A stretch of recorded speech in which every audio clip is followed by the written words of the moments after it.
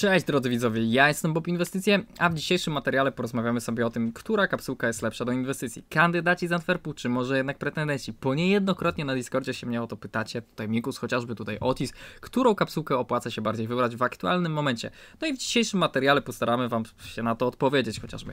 Ale przed tym wszystkim chciałem was zaprosić na Discorda, gdzie trwa aktualnie konkursik na 20 PSF kart, więc bijajcie i wygrywajcie, link jest podany oczywiście w opisie, do wsparcia mojego kanału, gdzie możecie naprawdę zdobyć masę, ale to masę bonusów, zwróćcie uwagę na to, ile jest tutaj filmów dodanych przez ostatni miesiąc. Masakryczna duża ilość, 85 dokładnie, jakby ktoś pytał, a nawet 86. No i przy okazji tak naprawdę do kupna ode mnie RMB-ków tutaj wchodzicie, piszecie, bo chcę kupić RMB i sprzedaję wam no i właśnie, wracając do głównego tematu odcinka. Która kapsułka według mnie jest lepsza i czy w ogóle Imperial tutaj, bo nie wiem czy wiecie, Imperial może być drugim mouse'em. To takie zostało pytanie przynajmniej zadane przez Mikuska. No to w dzisiejszym materiale no, spróbuję chociażby na to odpowiedzieć. Zacznijmy od tego Imperial, no bo nie wiem czy wiecie, o co tutaj w ogóle chodzi z drugim mouse'em. Tu w głównej mierze chodzi o to, że jak sobie tutaj wejdziemy i klikniemy o tu, to samo mouse, jedna drużyna, która się nie powtarzała nigdzie indziej bez tła, czyli tak w zasadzie jak Imperial teraz, była w stanie zbustować tą kapsułkę do niebotycznej ceny 60 prawie 1 zł. No zobaczcie, ma masakrycznie wyleciało, masakrycznie w kosmos wyleciało, nagle tu kosztowało 20 i je 61, no czemu by nie? Można, można. No i właśnie, czy takie Imperial jest w stanie zrobić to? Czy taki Imperial jest w stanie również tak się mocno wybić? Według mnie jak najbardziej jest. I zapytacie się dlaczego? Dlatego, że w grze mamy cztery wlepy, no właśnie w grze, w grze mamy dwie wlepy zielone, a ogólnie drużyny, które mogą mieć potencjalne zielone wlepy, no cztery mamy, co nie? Jakie mamy zielone wlepy aktualnie w grze? To jest to Imperial, które tutaj wymieniłem i jest na dobitkę tego wszystkiego tutaj Entropic, co nie? A jakie mamy potencjalnie jeszcze dwie drużynki? Mamy potencjalnie chociażby takie Sprout, które no nie wygląda zbyt dobrze, ale jest oraz taki Falchion. Team Falchion, który miał mieć 5 prosów, no ale niestety Niko ich wykiwał, Majonez się nie zgodził, bo miał tam kontrakt. No, wyszło widzowie jak wyszło i koniec końców zostali z trzema prosami i dwójką takich jakichś, no też niby dobrych graczy, oczywiście prosami, tylko takich, no nietopowymi, co nie? Zobaczymy, czy się dostaną na następny major, a nawet, drodzy widzowie, jak się dostaną, to musi być ten major bez tła, no bo zielona wlepa z tłem nic nam tutaj nie daje. Tu głównie chodzi o to, żeby tu była zielona wlepa bez tła, co nie? Więc prawdopodobieństwo na to, że na przykład taki Falchion się dostanie, jest jak na razie niskie. Bo nie wiem, czy wiecie, RMR-y startują 14 lutego. 14 lutego, czyli prawie że za dwa miesiące. Co to oznacza? Oznacza to, że tym Falchion musi już trenować, trenować i grać mocno.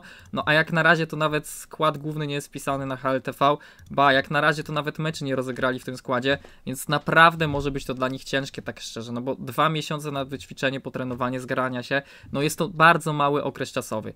Więc tak szczerze, tutaj ten Imperial ma duży potencjał. No i wiecie, jak tutaj zobaczymy, porównamy te drużyny, które mamy w kapsułkach. Tutaj mamy chociażby Nizy, które bez szans, że się dostanie do następnego Majora. Mamy Complete City, które no, ma szansę, tak szczerze, dostać się. Mamy Team Liquid, który aktualnie no, otrzymał Faze'a, dosłownie kupił Faze'a, również ma szansę. Mamy Spirit, który ma Donka, młody talent, bardzo dobrze grają. HC nie istnieje, to są nowi Mongolsi, Renegades też już nie istnieją, to też jest jakaś tam nowa drużynka, ale to no, mało ważne teraz, tak szczerze. Outsider też już nie istnieje. Eternal Fire, czy ma szansę się dostać? Tu jest akurat 50-50, tak szczerze. Jak na przykład jestem w stanie stwierdzić, że ten Nizy na pewno się nie dostanie. Tak jak jestem w stanie stwierdzić, że Complete City raczej powinno się dostać, chociaż dobra, zmieniam to może 50-50, bo tam są jakieś te problemy ogólnie, ale raczej powinni się dostać.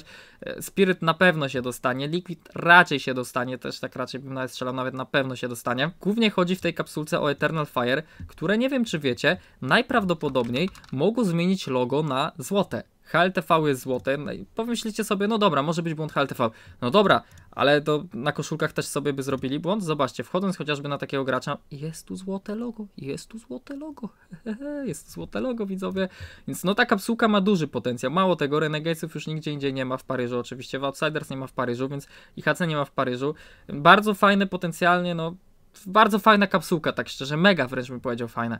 Ale z drugiej strony mamy kapsułkę, gdzie jest Imperial, które może zrobić za drugie MOS jak najbardziej. Mamy Astralis, które również nie ma w Paryżu, może się dostać na następny Major, chociaż jest to akurat w tym wypadku to bardziej takie 50-50 bym powiedział. Mamy G2, które też ma 50-50, bo przez pryzmat tego, że wywalili swojego jednego z fajniejszych zawodników i wzięli jakiegoś lamusa, no to im teraz nie idzie. Chociaż nie wiem, czy wiecie, trener TAS, no trener TAS, no właśnie, to też dobrze powiedziane, trener TAS, TAS po prostu tu wszedł. Mamy tutaj Mibr, które jest brazylijskie, które no naprawdę ma community Mamy tutaj również Imperial, które jest brazylijskie. Mamy tutaj Ence, które no jest Ence po prostu i mamy Forze na starym logo. Mamy Barnios Angel, które no jest do dupy. Ale powiem wam tak, Community Vitality, Community Astralis, Community G2, Community Ence, Community Mibru, Community Imperial myślę, że naprawdę również może zboostować tą kapsułkę. Więc powiem wam szczerze, obie te kapsułki są po prostu zajebiste. Nie mam zielonego pojęcia, która wystrzeli bardziej. Sami sobie możecie to poukładać jakoś. Nikt niestety nie ma magicznej kuli, ale zwróćcie uwagę na to, jakie te kapsułki mają potencjał. No jaki mają te... Masakrycznie dobry, masakrycznie duży. No tu jak i tu, tutaj jak i tutaj mamy bardzo, ale to bardzo dobre drużyny, które serio są dobre. Jeżeli chodzi o drużyny, które raczej no, nie dostaną się na Majora i będzie ich mniej na następnym Majorze, to bym raczej tutaj szedł, ale jeżeli chodzi o community tych drużyn większe oraz sam fakt, że tu jest zielona wlepa, to tu też możemy iść. Z drugiej strony mamy tu niebieską wlepę, tylko trzeba pamiętać, że jest jeszcze niebieska wlepa w postaci Cloud9, która aktualnie dobrze sobie radzi, chociaż, chociaż to jest też takie 50-50, bo nie wiem czy wiecie, Cloud9 grało bez snajpera, to co wam mówiłem z początku, że ryzykują. Z początku snajper im nie odda, ale później będziemy mogli to widzieć, że przegrywają. I co się dzieje? Nagle Cloud9 ma problemy w grach. Nagle Cloud9 tutaj sobie jakieś problemy na Vitality, tu jakieś problemy na Mibr, tu jakieś problemy na... Nagle są te problemy, bo nie ma tego snajpera. Więc drodzy widzowie, sami koniec końców musicie sobie odpowiedzieć na pytanie, która według was kapsułka będzie lepsza. Według mnie obie są po prostu zajebiste, tak szczerze. Dajcie znać w komentarzu, co wy o tym sądzicie, w którą wy będziecie inwestować. Trzymajcie się, no i cześć.